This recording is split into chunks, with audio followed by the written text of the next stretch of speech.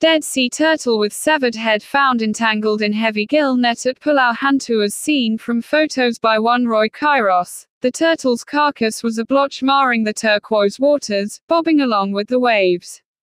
According to the Hantu bloggers, a group of people who were traveling to the island's coral reefs initially believed that they spotted two sea turtles mating.